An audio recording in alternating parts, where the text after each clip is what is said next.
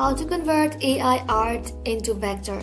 Hello everybody and welcome back to our channel. So let's get started without any further ado. So for that, first of all, go ahead and open up your browser. Once you open up the browser in the search bar, search for app.leonardo.ai. Now in this video, first of all, we're gonna have to go ahead and create an AI image and then turn it into vector image.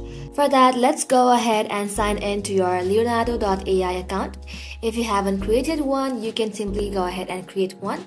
But if you already have an account, you can simply log into your account. Now once you're logged in, you'll find this kind of interface.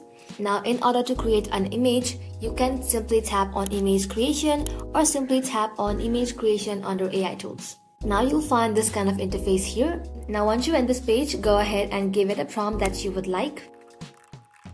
Now once the prompt is ready, tap on generate. Well, as you can see, our image has been generated.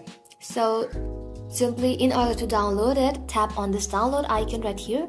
Now once our image has been downloaded, in order to vectorize this image, in the search bar, search for vectorize.ai and then simply tap on this first link that says vectorizer.ai. Well, you'll find this kind of interface in your screen. Simply tap on drag image right here to begin and then select the image that you have just downloaded.